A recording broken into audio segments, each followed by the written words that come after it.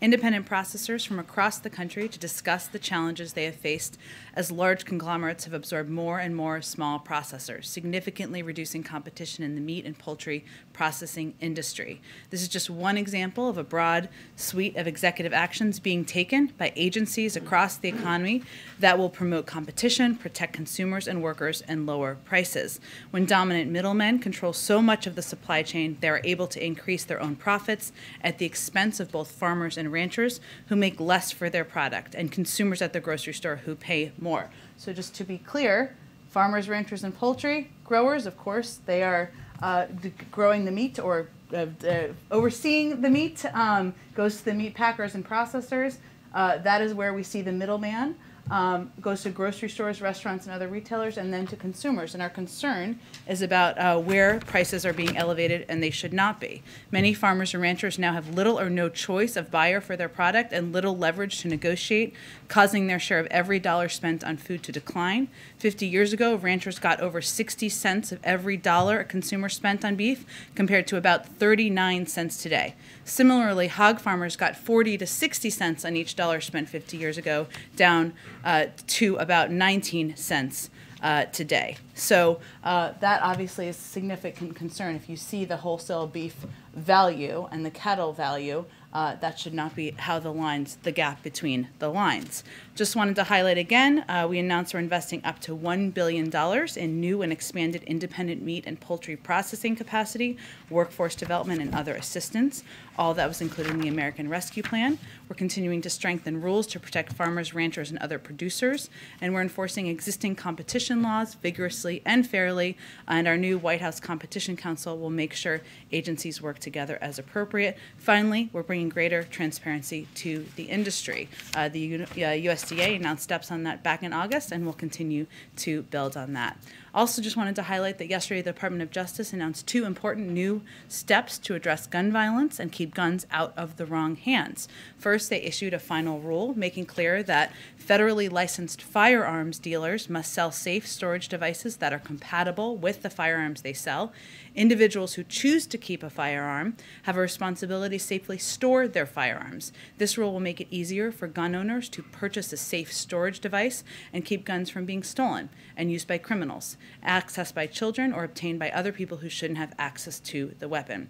Second, the Department of Justice issued a best practices guide to federally licensed firearms dealers to make sure they understand their obligations to comply with the federal laws and keep guns out of the wrong hands. And of course, this announcement builds on the work the President and the administration did over the course of 2021, which represented more action on gun violence prevention via executive authority than any president in, his, in a first year in office in history.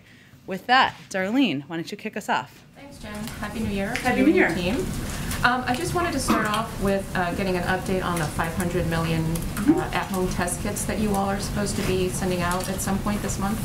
Um, has a con can you say if the contract has been signed yet, and if not, when do you expect that to be signed?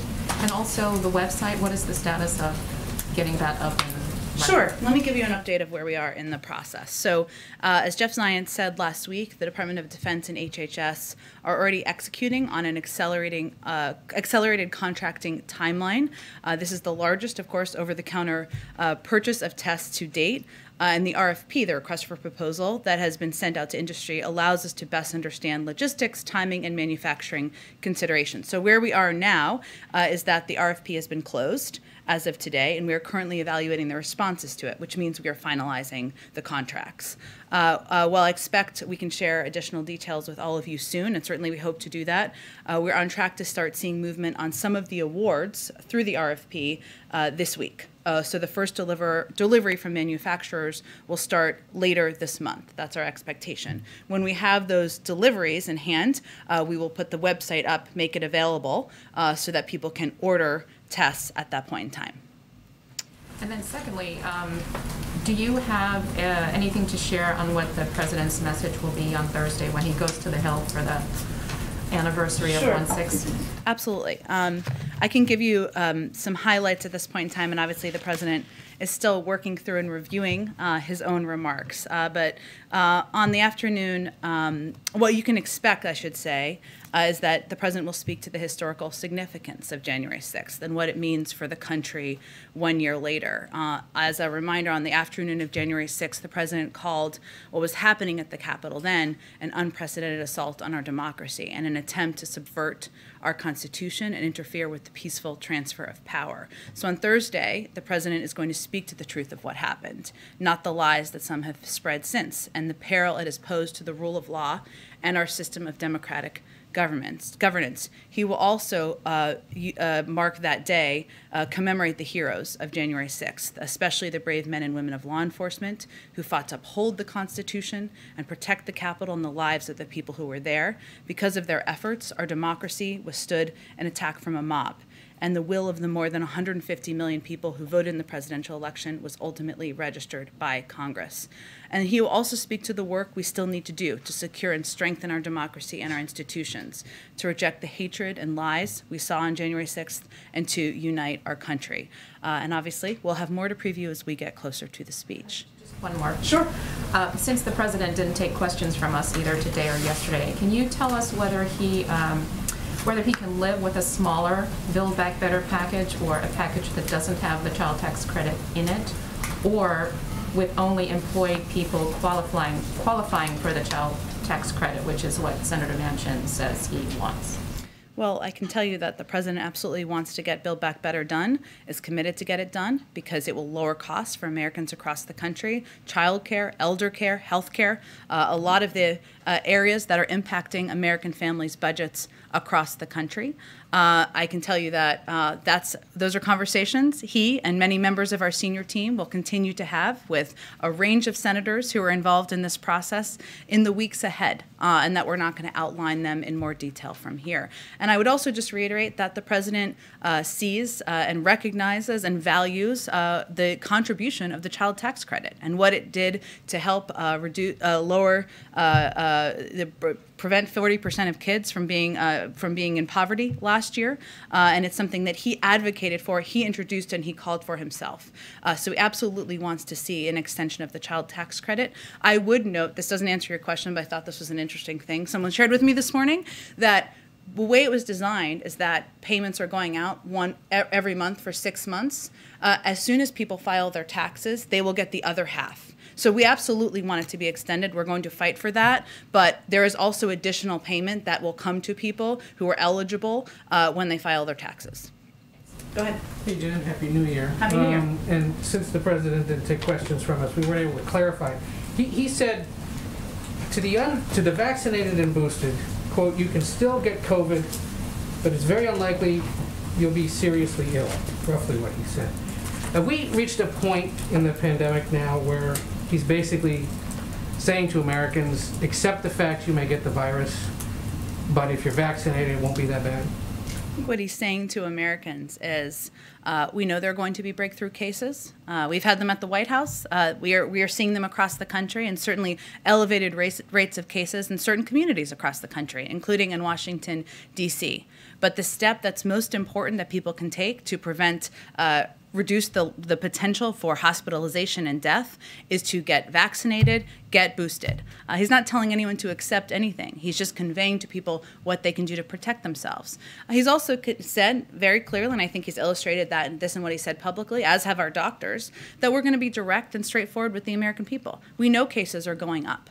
Uh, but we also know that if people are uh, boosted, it is going to significantly reduce their potential to be hospitalized and certainly prevent uh, to to die. Uh, and that is what we're conveying to the public. Okay, so let's let's be straight here for a second. Cases are rising across the country.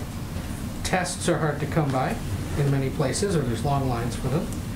Schools are closing again or having to go virtual, and that's not just because of the weather in some parts of the country, but because of the pandemic. There is a sense among many that the country has lost control of the virus. Would the White House agree with that? We would not. And here's why.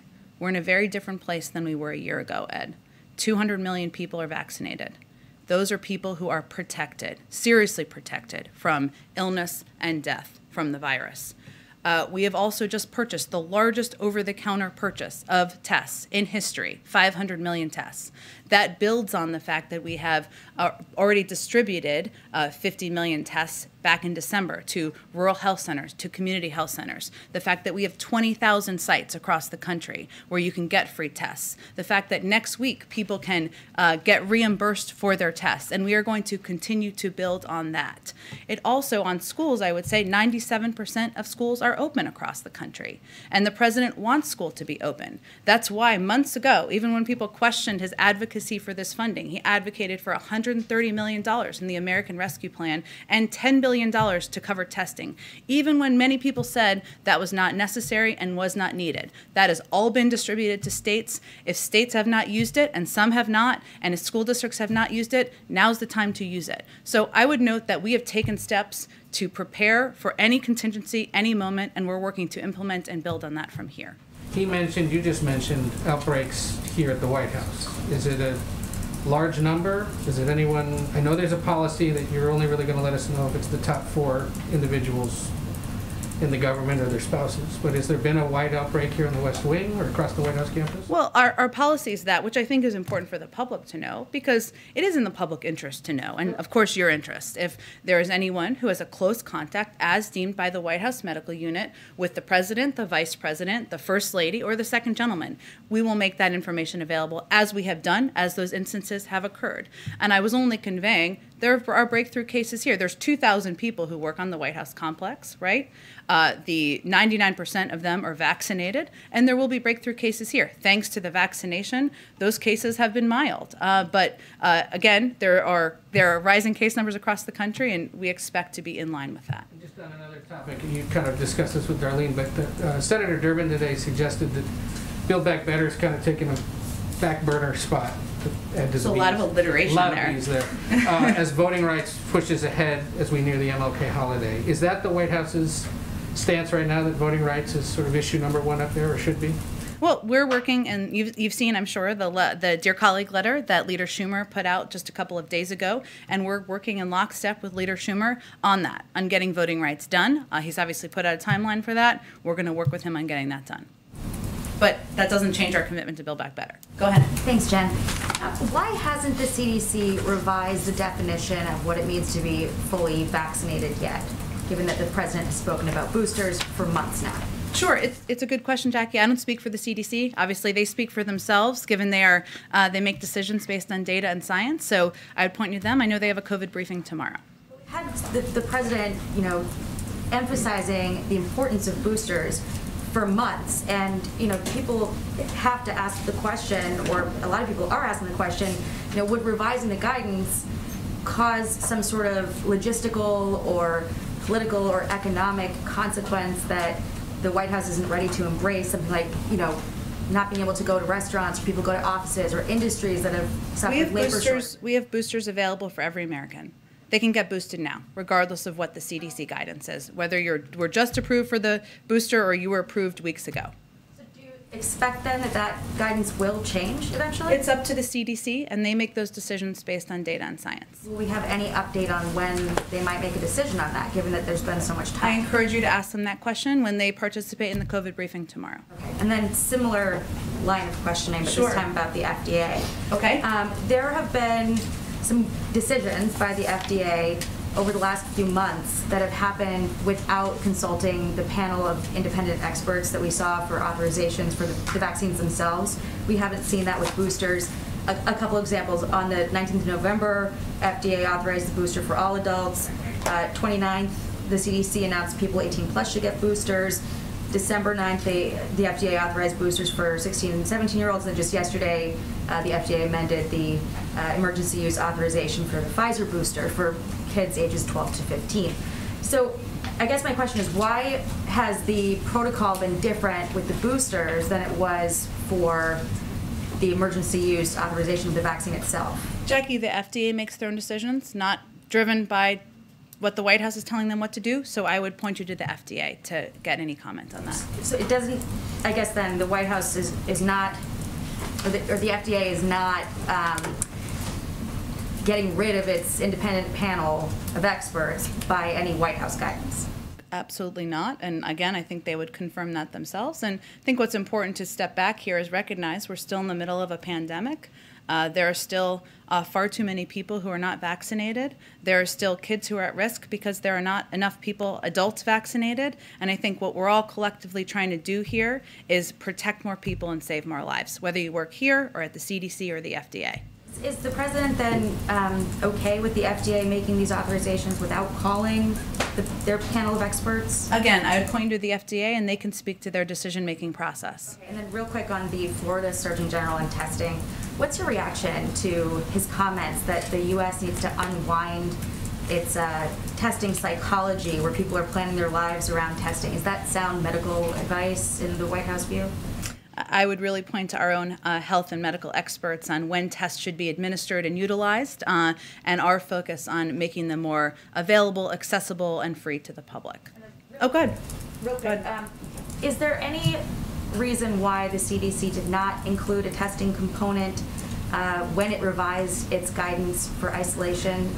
Given that there is such a scarcity of tests, there's been some criticism that you know the CDC couldn't tell people they should get tested when they emerge from isolation because then people try to get tests and they're not available and it might blow back onto the administration. Again, the CDC makes these decisions. I expect they'll have an updated guidance if it hasn't already gone out. Go ahead. Hi, Thank you. Can you I'm sorry, us- Caitlin, come back to you.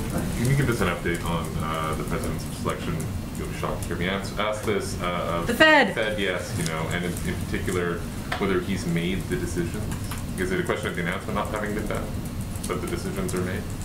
I I don't have anything more for you at this moment. Uh, I expect we will have more soon, and I will let the president speak to his decision and whom he will select. My colleague Katia Dmitrieva and Jennifer Jacobs, they're Sure. reporting that, uh, that economist Philip Jefferson is likely to be nominated for one of the seats, and he would be just the fourth black man to hold a position on the central bank's board in its history. Uh, can you comment on Mr. Jefferson's candidacy or whether, or what role equity will be playing in the president's determinations for all these seats? Sure, I, I can't speak to an individual name. I can say that um, it has been a priority for the president uh, to ensure that there that equity and making sure there are diverse choices and diverse leaders uh, representing uh, different roles uh, in the Federal Reserve, just as has been a priority for him in other points uh, in parts of his government, uh, is is an important part of his uh, decision making process. Can we just go back to the testing issue? Sure. Do you have a sense of how long the 500 million will be, you know, spread out in terms of timeline? They'll start in January, and Yeah. when will all 500 be available? I, I don't have an update on that at this point in time. Certainly understand the question. I expect as we finalize the contracts, which we're in the process of doing, we'll have more information on that. But again, we expect the first shipment from manufacturers to come soon. And on testing, one of the, some of the biggest retailers, Walmart and and Kroger, have raised the price of Abbott's BinaxNOW test. They've been selling it at cost because the detail, the deal, excuse me, with the House had expired. They're now about 19, 20 bucks, and they were about 14 for a box of two tests. Uh, I'm wondering whether there are any talks ongoing with retailers to bring that price back down to an at-cost level, or whether you're confident the increasing supply of tests will more or less work itself out in the market. Well, I can't give you an update on any conversations. I can tell you that our objective is, of course, to increase and scale up access to free tests. Um, hence, next week, uh, people who have health insurance, 150 million Americans, will be able to uh, get those tests or get reimbursed for those tests. Uh, hence, making uh, ordering of sending 500 million tests for free out to Americans, 20,000 free testing sites, 50 million tests that we've already given out. So that is our focus uh, from the federal government. Obviously, we want a competitive market out there that will lower the cost of tests over the course of time as well.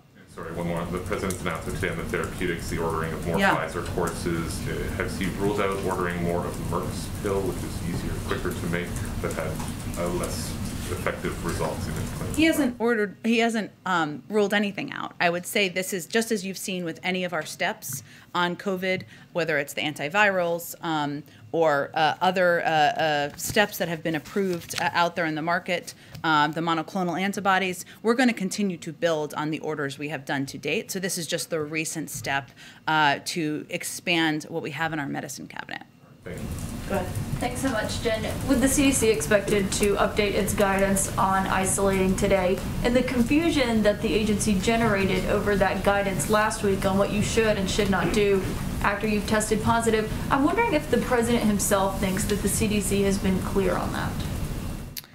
Well, What I can tell you, Caitlin, is that um, CDC is offering us updated guidance in real time of a fast moving and changing pandemic environment. And we've seen them change guidance and update guidance uh, on other occasions. Uh, they uh, made this recommendation last week based on science. The vast majority of transmission infectiousness occurs in the first five days after diagnosis with COVID 19, somewhere in the range of 85 to 90 percent. If people are asymptomatic, five days of strict mask wearing will prevent future transmission. Obviously, they are expected to update that uh, today. I'm not sure if any information has gone out on that uh, at this point in time, so I won't speak to that ahead of them.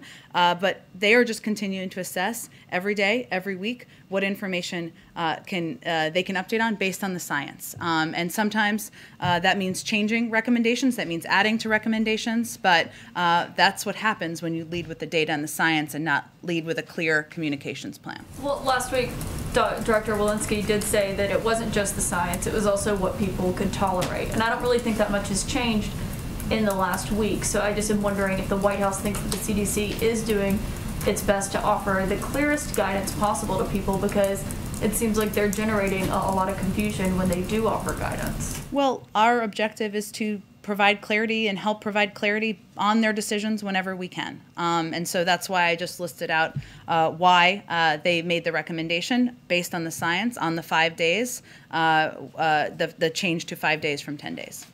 On testing and the rule that's going to go into effect next week, where private insurers will reimburse people mm-hmm. for the test that they're buying at home, you still have to file a claim for each test. Is that correct? Uh, I don't have. That's a good question. I don't have the details of exactly how it would work. I would assume some version of filing a claim or filing paperwork, but I can get you more specifics on it. Has the administration done the math and added up the cost of what it would be to just make these at-home tests either one dollar, like some other countries have done, or free for everyone? Well, we've looked at a range of options. I would say that uh, what when when it, they're free for everyone, they're they're actually a lot of countries have done what we're about to do, right? Which is for people who want tests and can re- they can request them online and get them for free. I don't know of countries, maybe maybe there are some that have sent them to every person living in their country. This is about making them free and accessible to the people who want them. And we want to do that, and there are some countries who have done that, some who have had to stop doing that because they haven't had enough access to tests uh, to continue programs like that.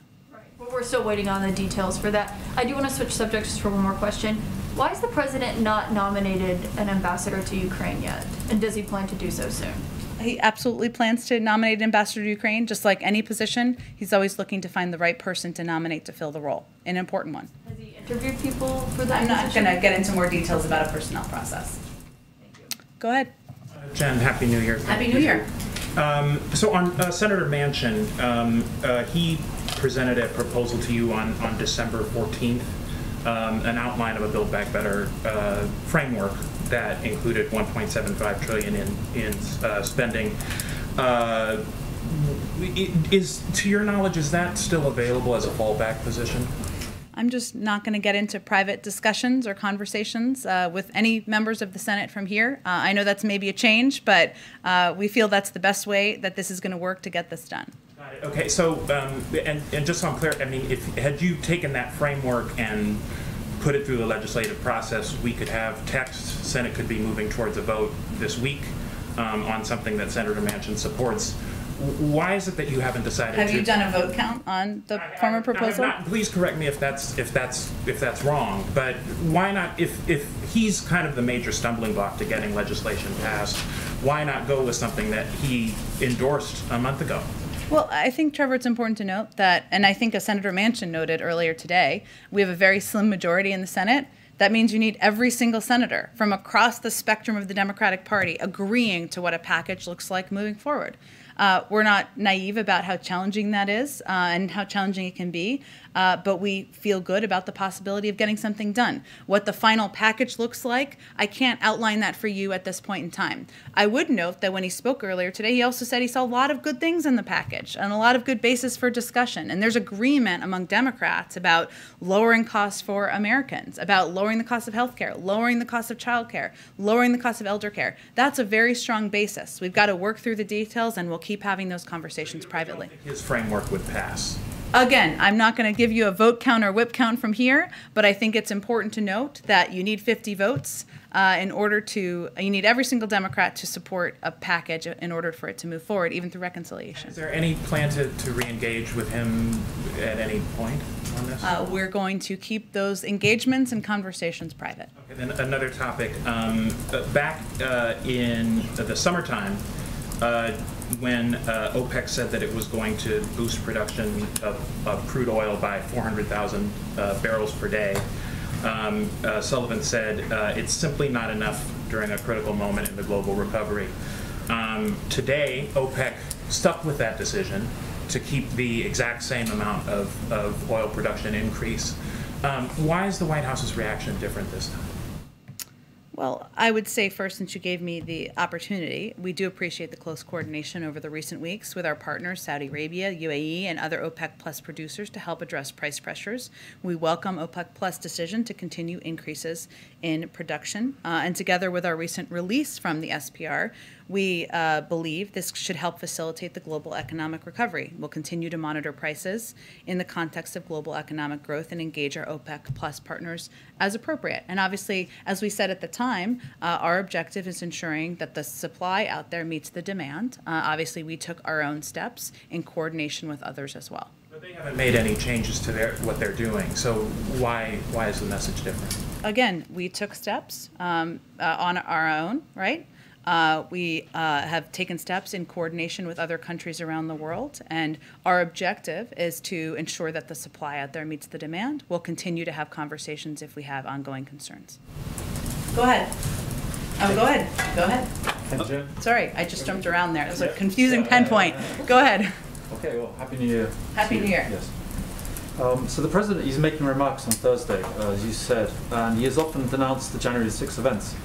But could you talk a little bit about why he refrains, to the extent that he does, seems, uh, from condemning ex-President Trump personally, uh, not just for January 6th, but for his ongoing campaign, which is very persistent, almost daily, maybe at least weekly, um, to discredit Americans' faith in the election process.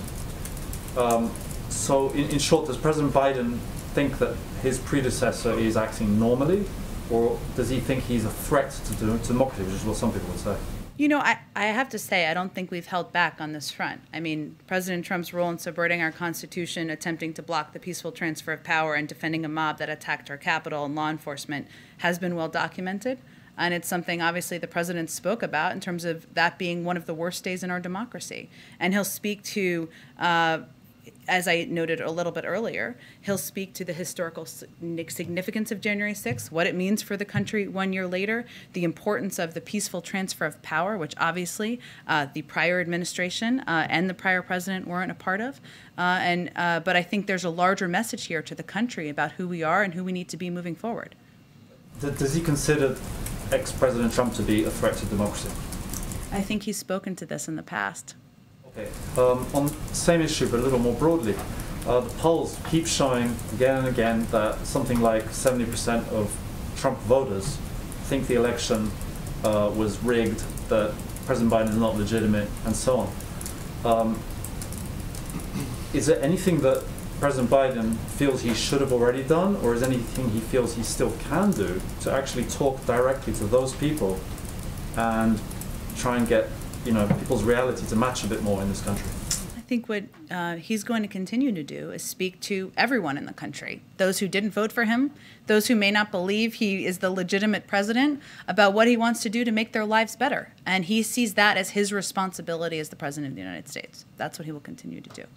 Go ahead, Anna. Thanks, Jen. Happy New Year. Um, so Senator Schumer just said that he and Senator Manchin talked numerous times um, during the break, mostly on voting rights, but also on Build Back Better. And he also says that the White House will be having more talks with Manchin's, quote, participation and cooperation on Build Back Better. So can I ask, did the President and Senator Manchin talk at all over the break? Uh, we obviously confirmed the conversation they had uh, two weeks ago. I don't have any more conversations to confirm for you. Schumer said about more talks in the future. Do you know the next time they'll talk about this? I'm not going to predict that for you, but I can assure you that the president and members of our senior team will, of course, be in touch with a range of senators who uh, care deeply about moving Build Back Better forward. Can I clarify something on the Sure. testing delivery timeline? Yeah. Now, you said the first deliveries go out later this month, then the website goes up, then people can sign up.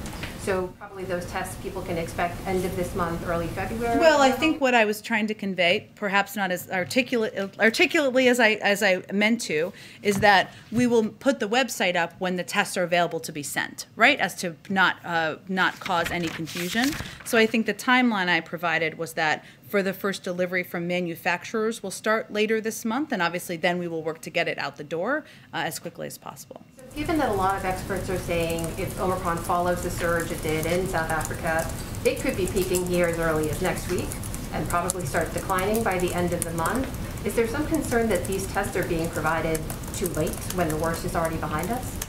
Well, I would say first that um, there's unprecedented demand. We know that right now for tests. There was in advance of the holidays for understandable reasons. People wanted to see loved ones. Um, they wanted to ensure they tested before they saw loved ones, and we were not where we needed to be. We're still not. Uh, what we've done is try to do this as quickly as possible through an expedited, accelerated contracting process uh, to ensure that tests are available for free to people across the country as quickly as possible. Now, at the same time, we know that uh, online and in um, uh, uh, retail stores across the country, they are restocking shelves with tests. Uh, that is a good thing. Uh, we are continuing to open more federal testing sites, as we have done in New York and different cities that have been hardest hit across the country. And we continue to have 20,000 free sites across the country. So we're not working on one channel. Uh, we are doing it as quickly as we can to to get these 500 million tests in our hands, uh, doing it through an accelerated, expedited process. But we've also taken a number of additional steps uh, to ensure the federal testing sites, just to note, are in New Jersey, D.C., New York City, and Philadelphia. Those are some of the places, just to give you a sense. And we'll continue to build on that, which we have the capacity to do. The surge that we're seeing now, is it fair to say if those free tests had been made available earlier, before the holidays, before people traveled and more contact and gatherings occurred, would we not be seeing the same numbers we're seeing today? Wouldn't it have prevented some of that spread?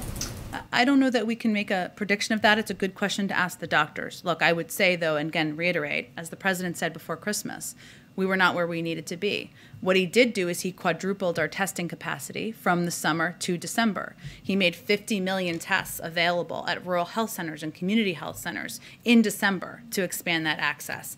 We opened these federal testing sites in December. So these were steps we took to, as quickly as possible, expedite our capacity, uh, even in December, as the demand, the unprecedented demand was rising, and doing everything we could at an accelerated pace. Of course, uh, you know, we would have uh, liked to have more in our hands earlier. Can I Go ahead. up Oh, go ahead. Just child tax credit question. Um, We know those aren't going to hit families' accounts this month, right? Yeah. Even though there's relief down the line, but for families who were relying on it month to month, is there any talk of executive action or anything from the White House to provide more relief for them? Uh, we are always looking at how we can help provide relief to American families and the American people. Um, if uh, you, if Build Back Better were to pass in February, there is an option of doing retroactive checks. Um, but I would note that our objective is to get this passed. Uh, the president wants to see the child tax credit extended. Go ahead. Follow up on testing then, if it's going to take that long, I should say in January. Sorry, in January to do February, if that makes sense. Yeah. yeah Go ahead. along those same lines. Okay. For people who, who see those long testing lines, you have more sites, but it's cold out. People don't want to wait in that. You, you swing by CVS, there are no tests. While waiting for all this expanded capacity, what is your advice to people who may be going back to college and want to take a test or they want to go see their grandparents or whatever it might be if their workplace says, we want you to take a self-test before you walk in. What can people do in the meantime until that capacity does get built up? Well, uh, it depends on the person. So it's a hard question to answer, but I would say that there are still many doctors' offices that are administering tests. If somebody has health insurance, that's something that you can go do. Everyone does not have health insurance. There are community health centers, rural health centers. You can go uh, look online and see if there is one near you and go to that. We have just opened a number of federal testing sites in New Jersey, D.C., New York City, and Philadelphia. We will continue to expand those big federal testing sites, and we have 20,000 free sites across the country. Different communities communities and states are doing taking different steps. Some libraries are providing uh, tests. Some uh, community buildings are providing tests. It really depends community to community. Uh, if tests are required, there's a number of steps and we're, that people can take, and we're working to expand that as quickly as possible. You had mentioned rising cases. The president mentioned rising cases a little while ago. Every doctor has said that. We've also heard from Dr. Fauci and other doctors saying that's not the number to look at. We know they're going to go up, but maybe hospitalizations is, I- I think- is a better case. Yeah, that's an important point. What's the president's barometer? Is there one number that he kind of gauges to, to get an idea of where the country is right now? Well, what I was trying to say in response to Ed's question, again, maybe not as articulately as I'd like, is as Dr. Fauci said, one of the areas that we are concerned about and focused on is hospital capacity, um, and that uh, how that is impacting medical professionals and the capacity for hospitals to take people in. So we look at a range of metrics, but we certainly look at that as we see rising cases. Uh, it is it is fortunate in many areas that uh, that the vast vast majority, if not all, of the people who are going to hospitals are unvaccinated. Not in every community; it depends community to community. Uh, so that's why we are also continuing to echo and advocate for people to get vaccinated, to get boosted, to protect themselves. That's the most important step they can take. But certainly, as Dr. Fauci said, we are looking at and concerned about uh, hospitalizations or capacity given hospitalizations. Go ahead in the back. Back to uh, back to testing. How can employers be obligated to test unvaccinated workers when there's such a shortage right now? And what will OSHA do when it starts enforcing this rule in a few days when employers say, well, sorry, we can't comply because we can't find any tests?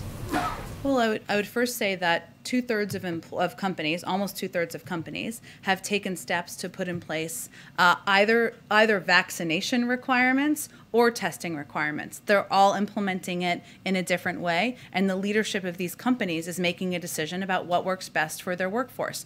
Giving that option is something certainly we support. Obviously, getting vaccinated, they're free across the country, available across the country, is also a very easy option for many people, and many companies are opting to do that. Uh, as OSHA works to implement uh, and work with companies to do that, our objective and what we're continuing to focus on is continuing to increase capacity uh, of uh, free tests that are are targeted more though at individuals and households, less than companies. Uh, and obviously, to work, there's now nine tests that are approved to go to market uh, that different companies and different school districts and others can have direct contact with. So there's a range of ways to get access to tests, and we're working to increase capacity to make them free and accessible to households and individuals across the country. Are you saying it's up to workers to find tests themselves if they must be tested to go to work rather than their employer? Actually, I'm them? saying, and I think what I said pretty clearly, is that different companies, about 60% of them have already implemented, are implementing the test or vaccine, uh, vaccine requirements in different ways, company to company, employer to employer. So, and many of them have done it extremely successfully, including many of the airlines, uh, a number of huge hospital systems, and this has helped make, remember what the objective is here. The objective is to make workplaces safer, to provide more security to people. Uh, if you look at the uh, data that just came out this morning, JOLTS, that was a shout out to Bloomberg. They'll get that. They'll get that reference. Um, data that came out today. There are still many people who are fearful about going back to work. That is one of the reasons why it's important to put in place these requirements and why employers have taken the step to provide that certainty to people in their workplaces as well. I want to uh, ask one more question related to the workforce. Uh, the White House Labor Task Force, led by Vice President Harris, was supposed to release a report in October about how the federal government can boost unionization in this country in a variety of employers. It's January 4th, and that report has not come out yet. What's going on, and does the, do the president and vice president still care about this initiative given everything else that's going on? I would say the president has been an advocate for uh, collective bargaining rights, uh, for the rights of workers, for the strong for strong unions, uh, for six five decades of his career, and I think that speaks uh, for itself. And the vice president, uh, well, a little younger, not in public office quite as long, but has also been a strong advocate for uh, the rights of workers. Um, and so I think that speaks for itself. Of course, this is an initiative they initi- they put forward. Um, I am certain I can check on the status of the report. Go ahead. Thanks, Jen. Uh, A couple of topics, if you don't mind. Um, As you know, the anniversary of the opening of Guantanamo Bay Detention Facility is next week. Yeah. Um, The president promised to close it. You reiterated that in February. What's taking so long? Um, well, let me first say that the National Security Council continues to work closely with the Departments of Defense, State and Justice, and other departments and agencies to do exactly that. I would note, and I know this was put out during a very crazy holiday period of time, but in the President's uh, statement on the National Defense Authorization Act for fiscal year 2022, he outlined uh, that Section 1032 of the Act continues to bar the use of funds to transfer Guantanamo Bay detainees to the custody or effective control of certain foreign countries. And Section 1033 of the Act bars the use of funds to transfer Guantanamo Bay detainees into the United States unless certain conditions are met. Uh, and it's, it's a longstanding position of the executive branch that those provisions unduly impair the ability of the executive branch to determine when and where to prosecute Guantanamo Bay detainees. In some circumstances, these provisions could make it difficult to comply with the final judgment of a court that has directed the release of a detainee. In addition to limitations in, the, in Section 1032 of the Act constrain the flexibility of the executive branch with respect to its engagement in delicate negotiations with foreign countries over the potential transfer of detainees. There are only 39 remaining individuals at Guantanamo Bay, but I just wanted to highlight that piece that was in the NDAA uh, statement um, because we feel it's obviously creating burden and a hindrance uh, to our progress here. So it's the foreign, the transfer to the foreign countries that's causing delays, essentially. Uh, well, I think I listed three clear, uh, three care, uh, clear pieces there, and limitations on how funding can be used, uh, on and and how uh, uh, this this section 1032 also limits at times how an individual can be released, as well as three how we can negotiate and communicate with foreign countries But about some of them have been waiting trials for years. What, what's causing, why is that taking so long? again, I, I, would say this is what we see as one of the major, if not the major hindrance. Uh, beyond that, I would point to, point to the Department of Defense, uh, but there are 39 remaining individuals there, and obviously our commitment continues to be to close Guantanamo Bay. One other topic, the um, Iranian president said yesterday as the talks begin in Vienna again, that President Trump, former President Trump, should be put on trial for the killing of General Soleimani. Wondering if I can get a reaction to that and whether that uh, hinders discussions around the Iran's nuclear uh, future this week. Well, I would say that uh, I don't have any direct comment on his comments. Uh, I would note that he has his own uh, politics and his own audience that he speaks to, just as many country leaders in other countries do. But right now, Special Envoy uh, Malley is currently leading an interagency delegation to the eighth round of talks in Vienna, which resumed on January 3rd. There was modest progress in talks last week, and we hope to build on that this week. What is clear is that if we do not soon reach an understanding on mutual return to compliance, Iran's accelerating nuclear steps will hollow out the JCPOA. So our priority remains reaching and implementing a rapid mutual return, and I expect those negotiations will focus on those topics at hand, not comments of any leaders around the world. Go ahead. Um, a couple different topics here as well. Um, first, from the administration's point of view, given what we've learned from the January 6th Select Committee, um, does it appear the Capitol riot played some kind of role in an overall coordinated effort to overturn the democratic process? So, something longer, perhaps, and more than just one day. Just so I understand your question, are you saying? Uh, talk a little bit more. Tell me a little bit more what you're trying to ask. Yeah, sure. So there's the isolated events of that day, but there's Yep. also the investigation that goes back much further and spans more time. Does it appear that there's that sort of longer throw there than just what occurred um, on January 6th at the Capitol, based on what we know from the Select Committee? Well, I'm not going to speak for the select committee, and obviously they will speak for when the conclusion of their report will be and what details. I, I would note that uh, we have conveyed our concern in the past about uh, the fact that many Republican members of Congress have stood by the big lie since then. Uh, they were outraged uh, at the time about many of them about the events uh, that happened on January 6th. Who could not be who was watching them? And since then, uh, they have uh, done nothing to help support the work of the committee, uh, to help argue against the big lie. and, you know, that sort of um, lack of action, inaction, silence, you know, is something that is irresponsible as well. Go ahead. Another, Oh, go ahead. sorry, another from uh, Todd Gillman, a fellow CC. Sure. rotation at the Dallas Morning News. Um, does the White House have a reaction to Senator Cruz saying um, President Biden may be impeached if the Republicans take back the House next year, specifically for the border policies? Well, uh, our reaction is maybe Senator Cruz can work with us on uh, getting something done on comprehensive immigration reform and putting in place measures that will help uh, make sure smart security uh, is what we see at the border, uh, taking a more humane approach to the border instead of uh, name calling, accusation calling, and making predictions of the future. Go ahead. Thank you, Jen. I have, I have questions about voting rights and also about political appointments. Um, on voting rights, the midterm elections are 10 months away. Does the is the president concerned that the window is closing to pass legislation that could have an impact on how people vote in the midterm elections?